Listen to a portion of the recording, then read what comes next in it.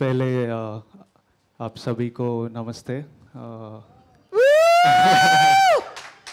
मैं कभी आपके भाषा में कुछ काम नहीं की पर आप लोगों ने मुझे बहुत प्यार दी। हिंदी में बात किया तो मेरा स्त्रीलिंग पुल्लिंग इधर उधर हो जाता। तो जब मैं आपको कुछ आंसर दूँगा कुछ लिंग इधर उधर हुआ तो माफ़ कर देना। हाँ कुछ भी बोला थोड़ा प्यार से लेने का। हाँ?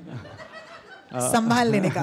करेक्ट इसीलिए एक्टर बना ऐसा पिक्चर करने के लिए तो मज़ा आएगा मज़ा आएगा।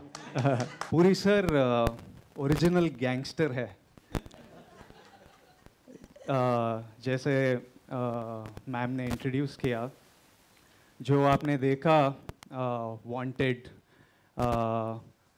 और और सिम्बा उसका ओरिजिनल गैंगस्टर इनो है। तो अब आ, इनो ही मैदान पे उतर रहा। तो सिर्फ़ हार्ड हिटिंग हो जाएगा अब से। तो क्या चाइना में इसको लोग पसंद करेंगे? थोड़ा डर जाएगा लोग उधर। थोड़ा सा उस पे इलाबरेट करेंगे कि क्या कहानी सुनना चाहेंगे आप? पिक्चर का कहानी हाँ, नहीं। शूटिंग में सितंबर से शुरू शुरू करूँगा। पर स्क्रिप्ट सुनते ही ऐसा मज़ा आया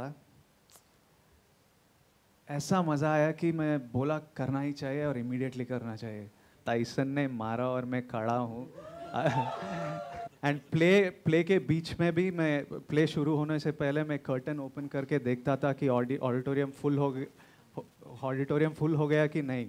अगर हाफ़ था, मन नहीं करता था परफॉर्म करने के लिए। अरे, चल आज हिंदी बोलना ज़्यादा मुश्किल नहीं था। अब मैं तेलुगु और इंग्लिश से ट्रांसलेट करके बोल रहा हूँ word to word in my head पर जब डायलॉग लिखा हुआ होता तो बहुत ग्रामर में भी लिंक का कुछ प्रॉब्लम नहीं रहता, पूरा लिख कर देते मुझे। तो बहुत इजी है हिंदी में परफॉर्म करने।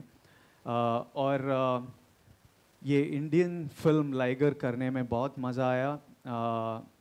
मैंने जब करण ने मेरा अर्जुन रेड्डी और डियर कॉमरेड देखा और उन्होंने मुझे कुछ नहीं पूछा सिर्फ़ ये बोला कि I love you as an actor I want to make a film with you और टैलेंटेड एक्टर्स को ये अपॉर्चुनिटी मिलेगा कि नेशनल फ़िल्म करे बड़े प्रोजेक्ट में काम करे।